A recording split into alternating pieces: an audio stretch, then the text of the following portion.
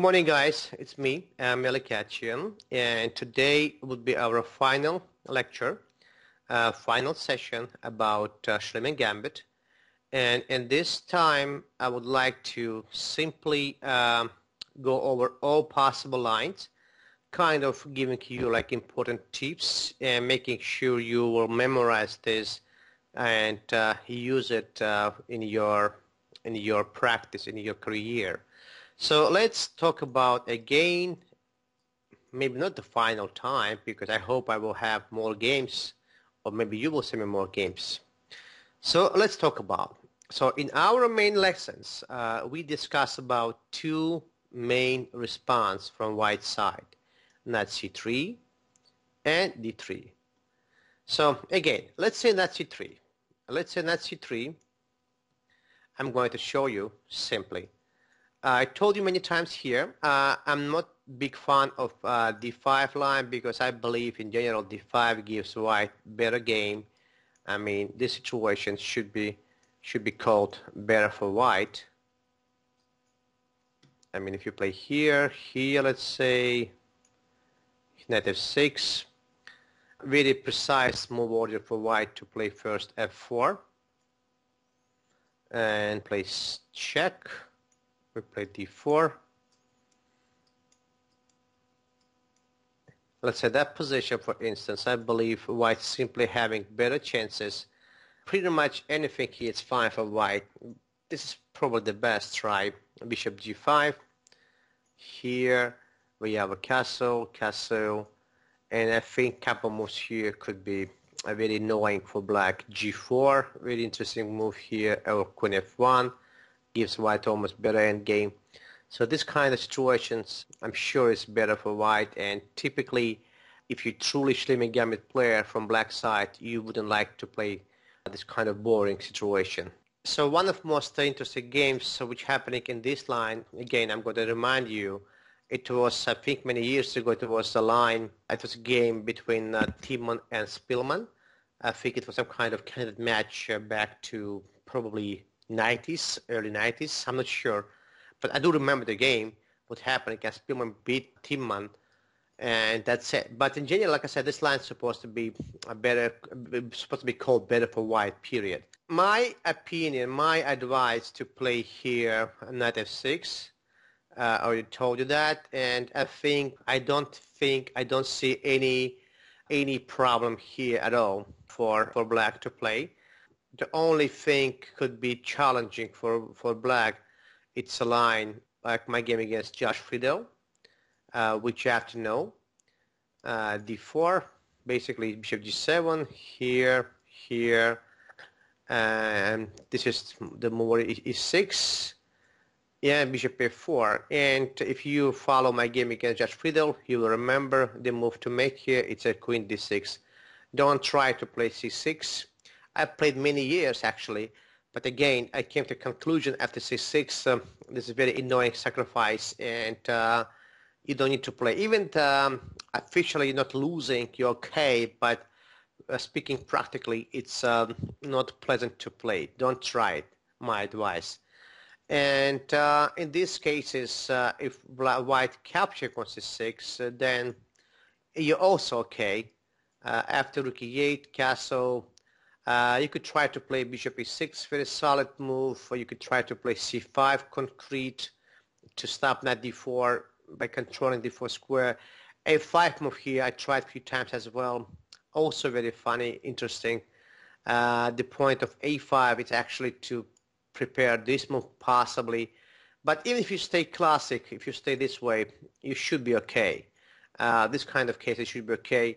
Uh, recently, I played a few games uh, by playing here, not the bishop d7 move, which supposed to be, used to be called the main response. I even played here uh, queen d7 because I believe uh, if white will take on e6, you'll take on e6. I think it's okay for black to deal black has some activity and typically that activity compensating some issues with pawn structure. That position at c3, I don't have any problem. The only thing is sometimes you could deal with this rare move, bishop c6, which actually I was thinking uh, to discuss about from bishop c6 move order. on move 4. But since we have this position, I'm going to mention that as well. The way how you deal, again, in this case, you could consider to play EF, but even situations with this, it should be okay for black to play. In fact, the right move order, again, it's actually to take it first here and then play here, because originally, in this case, I could go EF, and this is completely equal. I mean, black has no problem here at all. So, Nazi 3 move, it's fine. Uh, the 3 move we covered as well very nicely. Uh, so my advice, don't try to play with bishop e7 behind the pawn. If you have a chance, always do always do a bishop c5 move. Uh, I'm going to remind uh, knight c3 it's a bad move for white to play because bishop b4 black actually wants to trade the bishop uh, for the knight and then play d6 and they have no problem at all after this. So knight c3 not an option. Castle king side is the best try and then we have here bishop c5 if white will go and try take the pawn usually this is okay for black because they have a compensation after this. Because bishop on c5 is pretty strong plus uh, white still has some issue with defending e4 pawn. This is okay for you to play. And the only issue could be here if you deal with queen d3 move uh, or queen e2 move. It used to be called the main road which used to be playing for many many years. It's become uh, tricky so for the reason because we have here move queen c4 and forcing us to play uh, queen e7 otherwise we have issue with these subjects. So I must play here. And now uh, two things could be annoying for black here.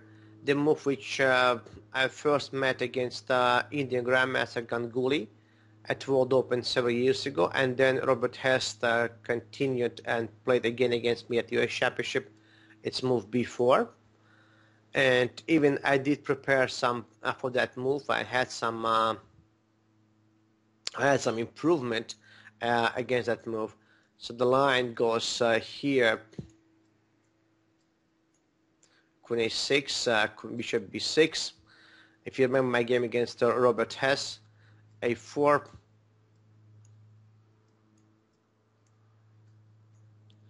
And had this move knight g4 but still the line is very very intense here and Robert played here a very interesting knight d2 and I played here and if you remember my game against again Robert uh, I made a mistake by jumping uh, knight h6 I thought I make natural move because uh, at, uh, my vision was this but I missed a very strong move by Hess knight b1 and after this I'm in big trouble but to computer, black still okay if I would play here knight f6.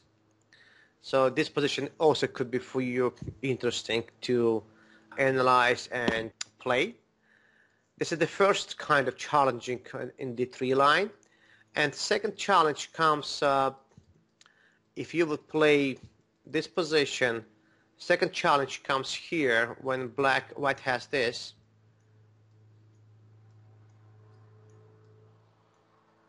And white actually captures and captures on d4 because typically these situations here uh, also looks like white's holding slightly edge you know and uh, let's say they're having a little bit more space I would say. Slightly more space. Actually I'm sorry first yeah it's okay. You can play this way. And then uh, looks like I have to play bishop b6 and then you do here. And that's a situation when um, again it looks like uh, white has more space. They're pushing you know and it's a kind of you playing for the result for making a draw only kind of you know. It's still okay but slightly passive Radjabov played a few games I recall the game against Magnus Carlsen a couple other games but recently uh, Timur Radjabov, who is the the guy who played this line consistently against like strong players, Anand, uh, Carlsen, and because of him, I believe uh, Ivanchuk took his uh, kind of experience uh, beat recently Anand in this line. So Radjabov came with pretty much brilliant idea here to keep his pawn structure. He found very interesting move, knight d4. Knight d4, knight takes d4, bishop takes d4, c3, and then bishop b6. And since this guy is gone, the way how Radjabov plays his positions, it's a here, it's a here, trying to cover this diagonal, and preparing castle king side if he could. If not, then he's preparing castle to queen side. Well, so far, uh, not too many games, and so far, Radjabov in in the plus, he beat Michael Adams last year, and he drew a couple years ago Peter Svidler from Russia. So the line is completely new. The line, obviously, it's all computerized. We need to spend more time. I'm not going to give you for sure evaluation of this position. I'm still at my in my research of this position. But I'll tell you what, as a black side myself, I actually start to uh, reconsider my decision and I'm not anymore playing like d6 or move 7. So I start to play uh, knight d4. So far I'm playing this move on ICC in my training games against my students and looks like the, the move is very interesting. So definitely it's a move to be considered and I mean it's really interesting to play. So this is a situation where black could have some challenge uh, in this line. So again, d3, it's most challenging way to play against the Schliemann Gambit. And now the rest. The rest, it's not so much. Um, number three choice, it used to be called um, one of the most sharpest way to deal with um, uh, with Schliemann but I don't think so it's actually a good move because this situation here, well, first of all, white almost forced to sacrifice a piece because any uh, move of the bishop gives black opportunity to pick up the pawn for free and then build up the very strong pawn chain. And I don't think so white has sufficient compensation there. So pretty much white has to sacrifice. And now what's going on, there is a two moves here. The move bishop g5 and move queen d4. Well, queen d4 completely harmless because after queen d7, black has no problem. Well, if you take on e6 twice, you will meet uh, queen e6 check. If you uh, play castle king side, then I can actually take on e4. And funniest part, this is nothing for white, pretty much lost. I mean, not lost, uh, but uh, black is could be even better. I mean, I mean, it's extra piece, you know. It's uh, maybe some complications, but I believe so far I won all my games as a black in these lines. I played maybe three times altogether, so it's um, I don't see anything from white side here. Um, this is the interesting way. Bishop g5, and now we have queen a5 check, knight c3, here, here, here. It used to be called like you know primary option for white I do remember many years ago when I was 13 uh, years old, uh, I was student at Tirana Trojan School, uh, and um, at that time, uh, Russian Grandmaster, Soviet Grandmaster Igor Glek had this big article about like refutation of Schliemann Gambit. And since I was a kid who was who liked to play Schliemann, I had this like kind of order to analyze whole article and uh, being either agree or disagree with that article. And imagine when I was 13, we had no computers, so it it's been done like manually, just to me, myself, board, and that's it. And I found many mistakes in this article, and even now I do remember this. Uh, so line, how it goes, knight d5, and black could play actually couple ways here.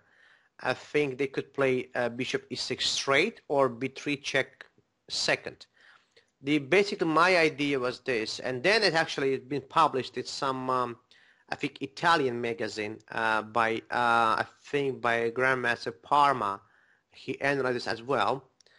So the line goes this way. Now Well, if you take if you take on e6, you will met queen e5 check, and uh, you can much resign pretty much. So white has to do castle first, and then bishop b6, very brave.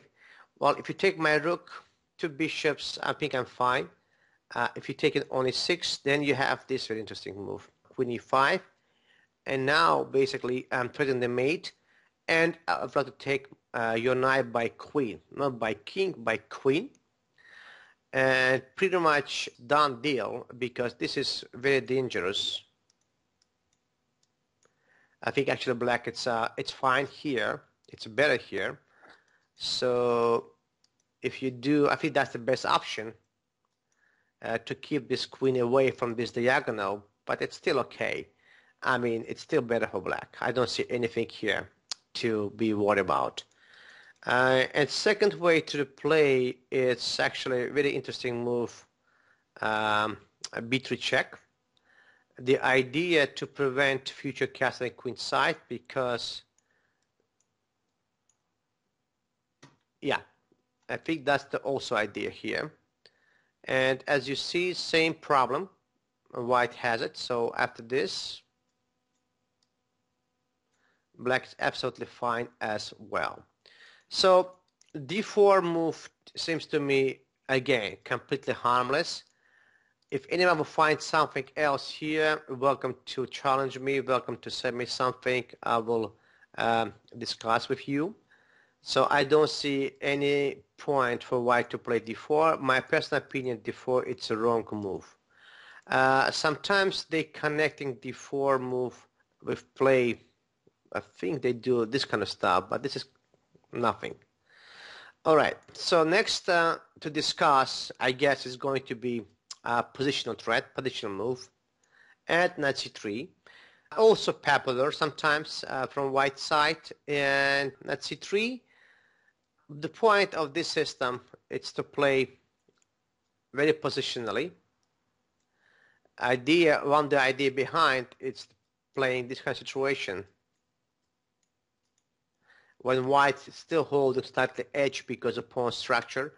Well, again, um, in general, it should be okay for black to play. It should be about drawish. Um, a second way to play from black could be interesting and sharp. It's keep the bishop and play bishop h h5. Uh, interesting as well. I mean, I tried a few times. So far, it's okay. I'm trying to, you know, stay stay focused on this. And if you play here, play bishop g6 so if you play knight g3, I do play here bishop f3 and I play here queen d5. Since uh, the black from e4 has been removed, uh, I think black is okay here as well. So in general, not much challenge. And uh, what else I could say uh, about this? Well, the rare moves such as uh, queen e2 has been very well known as a dangerous uh, for this weapon. And it looks like this is, could be uh, tricky for white to play uh, because I played DC and then castle Queen's uh, king side. I have two bishops, so white is kind of behind development. I mean, some people do that, but uh, again, I don't see any problem. A uh, couple years ago, I think I played uh, maybe a year and a half ago. I played against uh, uh, my let's say, consistent uh, rival on this line, uh, Jack Peters. Uh, I think we played, I'm not sure how many times, maybe three or four. He surprised me by all the way. He played EF move, EF, E4 here, Queen E7, uh, Bishop C6, DC Knight D4, right. And here what you must remember is to play Queen E5.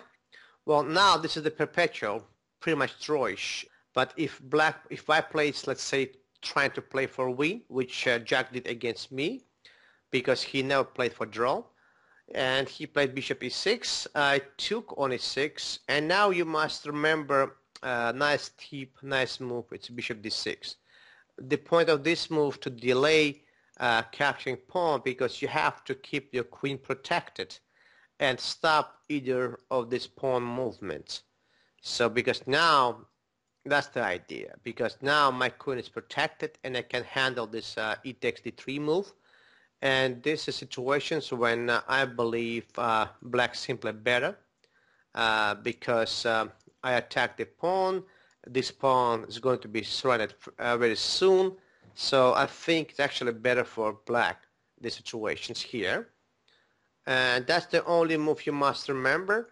After bishop d6, I don't think so we have any issues.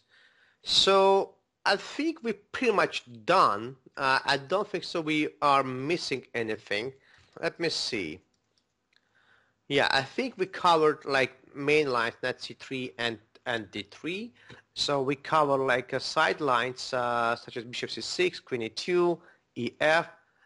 I think in general that's what it is. So what can I say guys?